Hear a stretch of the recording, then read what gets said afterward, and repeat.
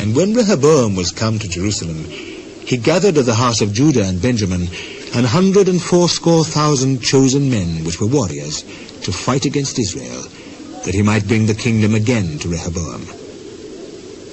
But the word of the Lord came to Shemaiah, the man of God, saying, Speak unto Rehoboam, the son of Solomon, king of Judah, and to all Israel in Judah and Benjamin, saying, Thus saith the Lord, Ye shall not go up, nor fight against your brethren.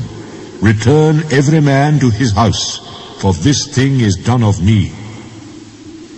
And they obeyed the words of the Lord, and returned from going against Jeroboam. And Rehoboam dwelt in Jerusalem, and built cities for defense in Judah.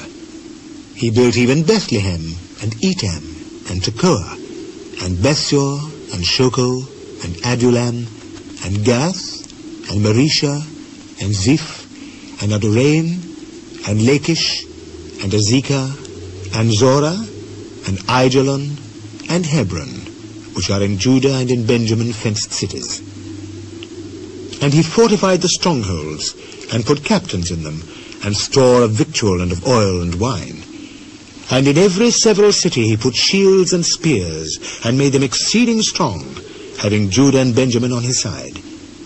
And the priests and the Levites that were in all Israel resorted to him out of all their coasts.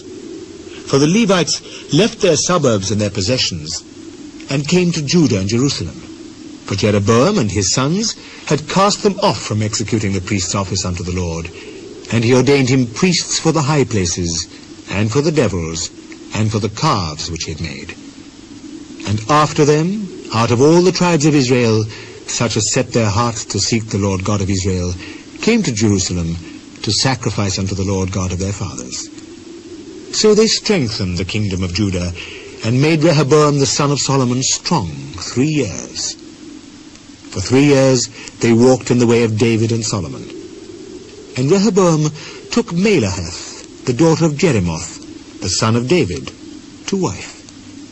And Abihail, the daughter of Eliab, the son of Jesse, which bare him children, Jeush, and Shamariah, and Zaham.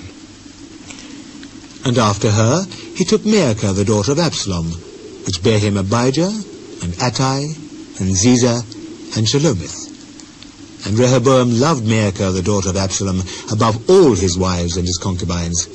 For he took eighteen wives and threescore concubines, and begat twenty and eight sons and threescore daughters. And Rehoboam made Abijah, the son of Maachah, the chief, to be ruler among his brethren, for he thought to make him king.